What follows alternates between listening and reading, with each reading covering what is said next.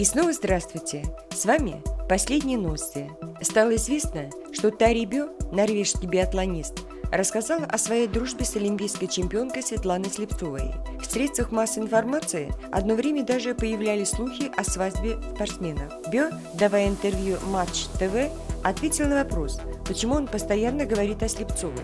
Оказалось, что она его хороший друг. Тарей также сказал, что Слепцов веселая девушка – и он надеется, что ей нравится то, как он говорит о ней. Биатлонист признался, что Светлана Слепцова навсегда останется его самой любимой биатлонисткой из России. Честно ответил он на вопрос, были ли у них отношения со Светланой. «Нет-нет-нет», — ответил Дарий. Однако он был бы согласен на такие отношения. Бё предложил Светлане вернуться в спорт и даже сделать норвежский паспорт. Он неоднократно повторял «Слепцова, я скучаю по тебе, ты должна вернуться к гонкам». Бё вспоминал, что на вечеринках они постоянно вместе танцевали.